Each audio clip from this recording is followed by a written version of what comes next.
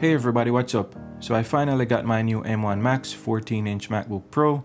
These things are really hard to get. If you order a customized one today, then you can expect to get it in December.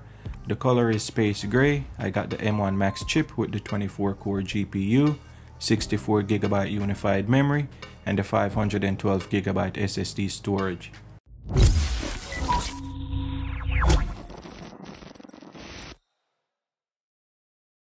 So I'm giving away a brand new M1 iPad Pro to a random subscriber once my channel reaches 25,000 subscribers.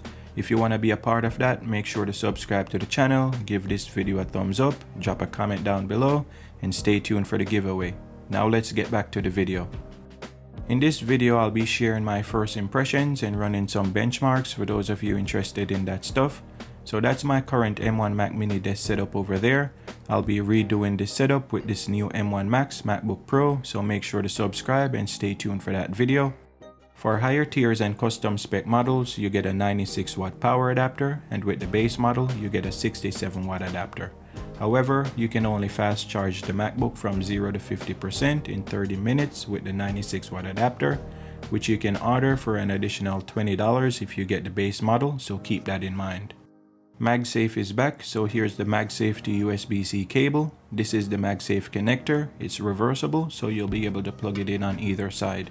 For a MacBook Pro this expensive, I'm glad they didn't give you some cheap charging cable. This is a braided cable. It's very flexible and feels really high quality.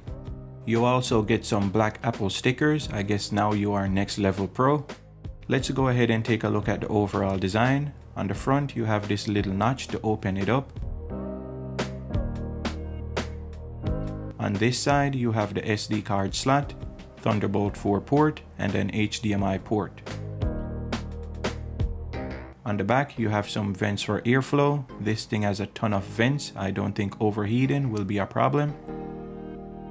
On this side, you have the MagSafe connector, two Thunderbolt 4 ports, and a headphone jack. I like the overall look and feel of this new design. What do you think?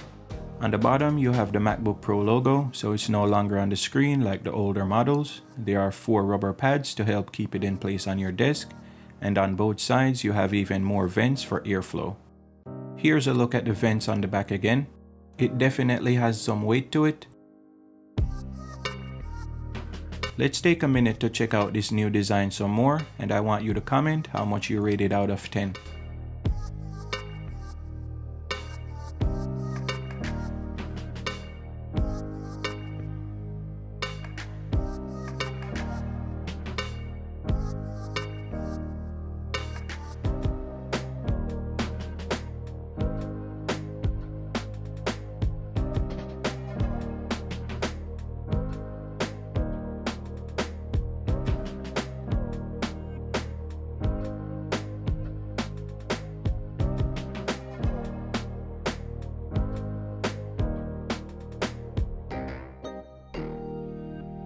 I think it looks really good in space gray. Let's take a look at the Apple logo on top. So here's the keyboard. You get a full row of function keys, so no more touch bar. This is the power button with Touch ID. On both sides, you have some nice speakers. I'll test those out later in the video. And a nice size trackpad right here. The keys look and feel pretty good as well. Up here, you can see the vents, so this thing was designed to have perfect airflow. Here's a closer look at the keyboard. I really like the keys and how bold everything is. It's also a backlit keyboard. Let's take a look at the side profile a bit. I really like how thin the screen is. It's a little thicker here, but with the rounded edges, I think it makes the overall design look more gorgeous in my opinion. Here are some viewing angles if you're curious.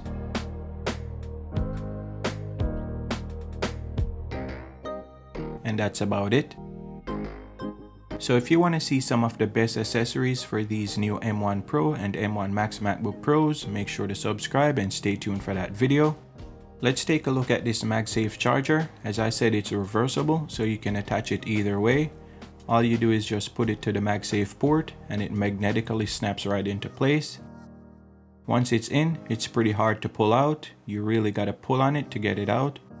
So if you pull it up or down, then it comes off easily. So if you were to step on the cord, your MacBook wouldn't fly off the table. What's also cool is you can charge it using a regular USB-C cable if you were to forget your MagSafe charger. So it's great to have multiple options. As you can see here, it's charging. Whenever it's charging, the light on the MagSafe port is orange and when the battery is full, it turns green. This Liquid Retina XDR display is probably the best screen you can find on any laptop. It has 1000 nits brightness and 1600 nits peak brightness, 10,000 mini LEDs, a 1 million to 1 contrast ratio, and 1 billion colors. The aspect ratio on the 14 inch model is 3024 by 1964. There are 5.9 million pixels and 254 ppi. It is also a ProMotion display, so you have an adaptive refresh rate like on the new iPhone 13 Pro and 13 Pro Max.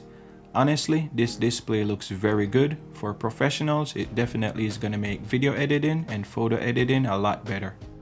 Another cool thing is you can watch HDR videos on YouTube and other places with this new XDR display.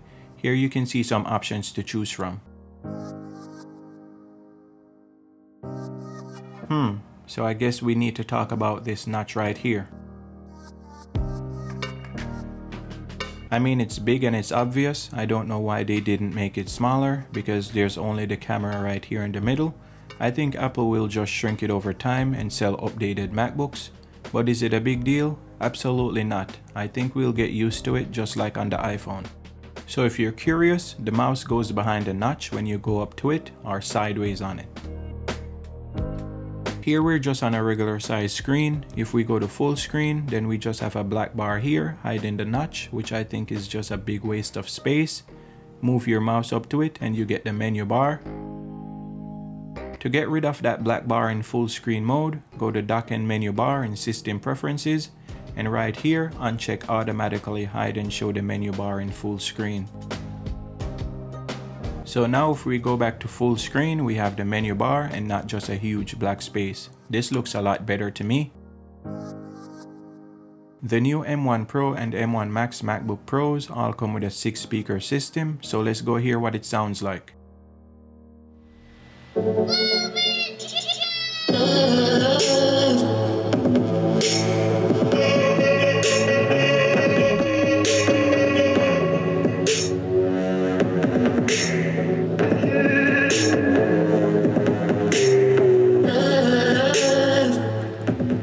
Think about the sound quality? Here you can see I maxed out the memory to 64 gigabytes. If I need more storage, I can always use external drives, but I can't upgrade RAM if I need to, so that's why I maxed it out. For storage, I went with the 512 gigabyte SSD because I'm a big fan of external drives. If you want to upgrade your storage, here's a link at the top of your screen for some of the best storage drive options. The new SSDs in these MacBook Pros should be super fast, so let's go run some tests.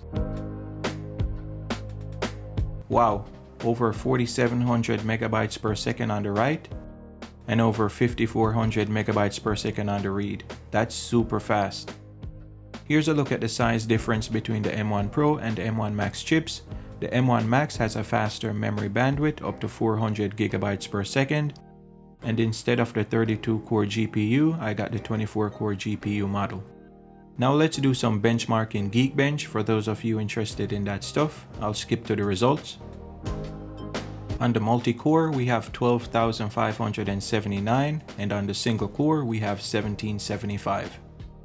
Let's look at the single core comparison and it beats everything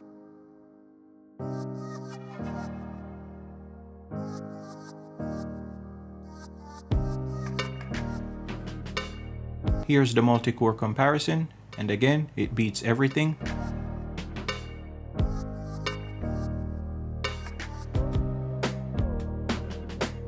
Now let's do some GPU benchmarks. This is OpenCL, I'll skip to the results. OpenCL score is 44,422. Let's run a metal test and I'll skip to the results.